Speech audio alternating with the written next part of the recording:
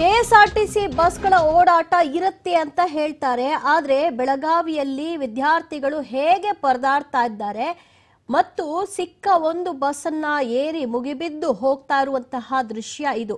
ಇಲ್ಲ ಅಂತ ಅಂದ್ರೆ ಬಸ್ ನಿಲ್ದಾಣದಲ್ಲೇ ಕಾಯ್ಬೇಕು. ಗಂಟೆಗಟ್ಟಲೆ ಕಾದ್ರೂ ಕೂಡ K S R T C ಬಸ್ಗಳು ಬರ್ತಿಲ್ಲ. ವಿಧಿ ಇಲ್ಲದೆ ಬಂದಂತಹ ಬಸ್ಗಳಲ್ಲೇ ಕೊರೋನಾ ನಿಯಮಗಳ ಉಲ್ಲಂಘನೆ ಆಗೋ ಮೂಲಕ ವಿದ್ಯಾರ್ಥಿಗಳು ಪಾಪ ಈ ರೀತಿಯಾಗಿ ಅನಿವಾರ್ಯವಾಗಿ ಹೋಗಬೇಕಾದಂತಹ ಪರಿಸ್ಥಿತಿ.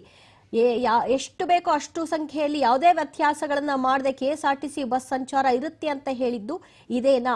ಬೆಳಗಾವಿಯ ದೃಶ್ಯ ನೋಡ್ತಾ ಇದ್ರೆ, ವಿದ್ಯಾರ್ಥಿಗಳ ಪರದಾಟವನ್ನ ಗಮನಿಸ್ತಾ ಇದ್ರೆ ಏನ್ ವ್ಯವಸ್ಥೆ ಆಗಿದೆ? ಯಾ, ಈ ಲಾಕ್ಡೌನ್ ಹಾಗಾದ್ರೆ ಈಗ್ಲಿಂದನೇ ಜಾರಿ ಆಗ್ಬಿಟ್ಟಿದ್ಯಾ ವೀಕೆಂಡ್ ಕರ್ಫ್ಯೂ ಹಾಗೂ K S R T C ಕೂಡ ಬಂದ್ ಮಾಡ್ಕೊಂಡ್ಬಿಟ್ಟಿದ್ಯಾ ಅನ್ನೋ ಪ್ರಶ್ನೆ ಮೂಡುತ್ತೆ. ಅಲ್ಲೊಂದು ಇಲ್ಲೊಂದು ಬಸ್ಗಳು ಮಾತ್ರ ಓಡಾಟ ನಡೆಸ್ತಿರೋದ್ರಿಂದ, ನೋಡಿ ಅಲ್ಲಿ ಮಾಸ್ಕೇ ಹಾಕಿಲ್ಲ.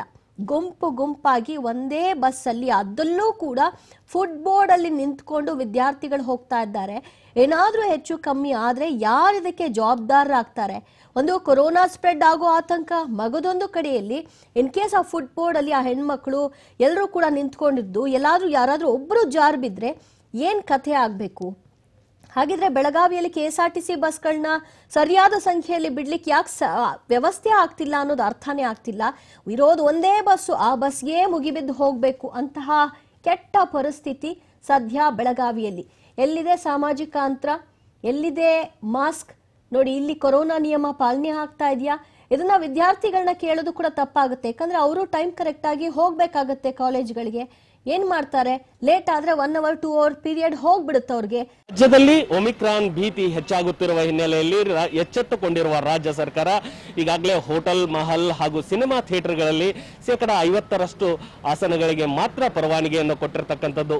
ಈ ಹಿನ್ನೆಲೆಯಲ್ಲಿ ಎಲ್ಲ ಹೋಟೆಲ್ ಮತ್ತು ಮಹಲ್ಗಳು ಈಗಾಗಲೇ ಶೇಕಡ ಐವತ್ತರಷ್ಟು ಮಾತ್ರ ಗ್ರಾಹಕರಿಗೆ ಆಸನವನ್ನ ವ್ಯವಸ್ಥೆಯನ್ನು ಕೂಡ ಮಾಡಿರ್ತಕ್ಕಂಥದ್ದು. ಬನ್ನಿ ಎಲ್ಲ ದೃಶ್ಯಾವಳಿಗಳನ್ನು ನಾನು ನಿಮಗೆ ತೋರಿಸ್ತಾ ಹೋಗ್ತೀನಿ. ನಾವೀಗಿರ್ತಕ್ಕಂಥದ್ದು ಬಾಗಲಕೋಟೆಯ ನವನಗರದಲ್ಲಿರ್ತಕ್ಕಂಥ ಅಕ್ಷಯ್ ಇಂಟರ್ನ್ಯಾಷನಲ್ ಹೋಟೆಲ್ ಅಲ್ಲಿ ನಾವೀಗಿರ್ತಕ್ಕಂಥದ್ದು. ಈ ಹೋಟೆಲಿನ ಒಳಬದಿಯಲ್ಲಿ ನೀವು ನೋಡ್ತಾ ಇರ್ಬೋದು. ಈಗಾಗಲೇ ಕೊರೋನಾ ಟೈಟ್ ರೂಲ್ಸ್ ಅನ್ನ ಮಾಡೋ, ಅಂದ್ರೆ ಕಂಪಲ್ಸರಿಯಾಗಿ ಮಾಸ್ಕ್ ಅನ್ನ ಹಾಕಿಕೊಂಡು ಇಲ್ಲಿಗೆ ಗ್ರಾಹಕರು ಬಂದಿರಬೇಕು.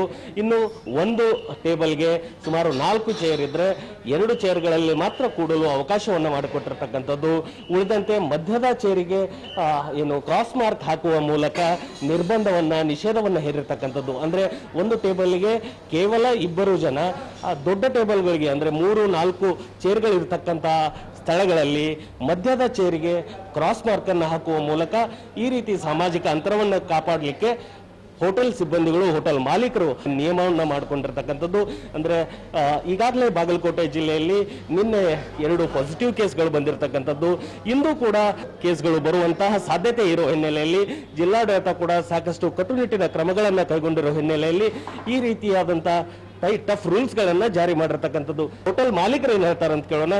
ಸರ್ ಈಗಾಗಲೇ ಸರ್ಕಾರ ಟಫ್ ರೂಲ್ಸ್ ಗಳನ್ನ ಜಾರಿ ಮಾಡಿದೆ. ಹೋಟೆಲ್ ಮಹಲ್ ಮತ್ತು ಸಿನಿಮಾ ಥಿಯೇಟರ್ಗಳು ಬಾರ್ ಅಂಡ್ ರೆಸ್ಟೋರೆಂಟ್ಗಳಲ್ಲಿ ಶೇಕಡ ಐವತ್ತು ಪರ್ಸೆಂಟ್ ಆಸನದ ವ್ಯವಸ್ಥೆಯನ್ನು ಮಾತ್ರ ಮಾಡಬೇಕು ಅನ್ನುವಂತ ಒಂದು ಪರವಾನಗಿಯನ್ನು ಕೊಟ್ಟಿದೆ. ಏನ್ ಹೇಳ್ತೀರಿ ಸರ್ ಸರ್ ಈಗಾಗಲೇ ಏನು ಸರ್ಕಾರದ ಮಾರ್ಗಸೂಚಿ ಐತಿ, ಅದರ ಪ್ರಕಾರನೇ ನಾವು ಟೇಬಲ್ಗಳ ವ್ಯವಸ್ಥೆ ಮಾಡ್ಕೊಂಡಿದ್ದೆವು. ಗ್ರಾಹಕರಿಗೆ ಕೂಡ ತಿಳುವಳಿಕೆ ಹೇಳ್ತಾ ಇದ್ದೇವೆ.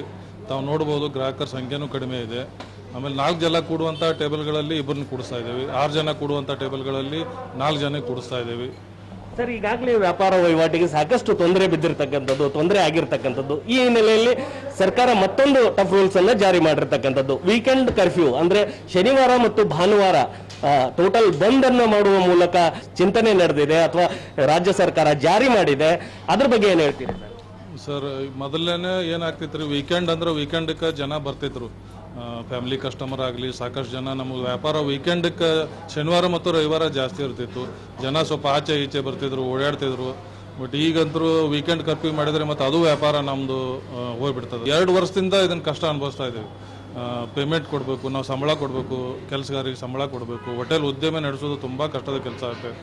ಮತ್ತು ವೀಕೆಂಡ್ ಕರ್ಫ್ಯೂ ಫಿಫ್ಟಿ ಪರ್ಸೆಂಟು ಇದೆಲ್ಲ ನೋಡಿಕೊಂಡು ಬರೇ ಮೇಲೆ ಬರೇ, ಗಾಯದ ಮೇಲೆ ಬರೇ ಅಂತೇವಲ್ಲ ಆ ಥರ ನಮ್ಮ ಹೋಟೆಲ್ ಉದ್ಯಮ ಆಗಿದೆ. ಇದೇನು ಫಿಫ್ಟಿ ಫಿಫ್ಟಿ ರೂಲ್ಸ್ ಐತೆ ಅಟ್ಲೀಸ್ಟ್ ಅದನ್ನಾರ ನಾವು ಶನಿವಾರ, ರವಿವಾರ ಕೂಡ ಮುಂದುವರ್ಸ್ಕೊಂಡು ಹೋದ್ರೆ ಗ್ರಾಹಕರಿಗೆ ಆಗೋ ತಿಳುವಳಿಕೆ ಕೇಳ್ಕೊಂಡು ನಾವು ವ್ಯಾಪಾರ ಮಾಡ್ಕೊಂಡು ಹೋಗ್ತೇವೆ. ಇಲ್ಲ ಅಂದರೆ ಸಂಬಳ ಕೊಡೋದು ಕೂಡ ಕೆಲಸಗಾರಿಗೆ ಕಷ್ಟದ ಕೆಲಸ ನಮಗೆ. ಇದಿಷ್ಟು ಹೋಟೆಲ್ ಉದ್ಯಮಿಗಳು ಹೇಳುವಂಥದ್ದು. ಅಂದರೆ ಈಗಾಗಲೇ ಕರೋನಾದಿಂದ ಸಾಕಷ್ಟು ಕಷ್ಟ ನಷ್ಟಗಳನ್ನು ಅನುಭವಿಸಿದ್ದೇವೆ. ಸುಮಾರು ಎರಡು ಲಾಕ್ಡೌನ್ಗಳ ಮಧ್ಯೆ ನಾವು ಈಗಾಗಲೇ ವ್ಯಾಪಾರ ವಹಿವಾಟಿನಲ್ಲಿ ಸಾಕಷ್ಟು ನಷ್ಟವನ್ನು ಅನುಭವಿಸಿ, ಈಗ ಮತ್ತೆ ಏನು ವೀಕೆಂಡ್ ಕರ್ಫ್ಯೂ ಅನ್ನ ಜಾರಿಗೆ ತರಲು ಹೊರಟಿರುವ ಸರ್ಕಾರದ ಕ್ರಮ ಸರಿಯಾದುದಲ್ಲ, ಇದನ್ನು ಮರುಪರಿಶೀಲನೆ ಮಾಡಬೇಕು. ಈ ರೀತಿ ಆದರೆ ಹೋಟೆಲ್ ಉದ್ಯಮದ ಮೇಲೆ ಭಾರಿ ಹೊಡೆತ ಬೀಳುವಂಥ ಸಾಧ್ಯತೆ ಇದೆ ಅನ್ನುವಂಥ ಮಾತುಗಳನ್ನು ಹೇಳಿರ್ತಕ್ಕಂಥದ್ದು. ಕ್ಯಾಮ್ರಾಮನ್ ಆನಂದ್ ಜೊತೆ ರವಿ ಹಳ್ಳೂರು ಪಬ್ಲಿಕ್ ಟಿವಿ ಬಾಗಲಕೋಟೆ.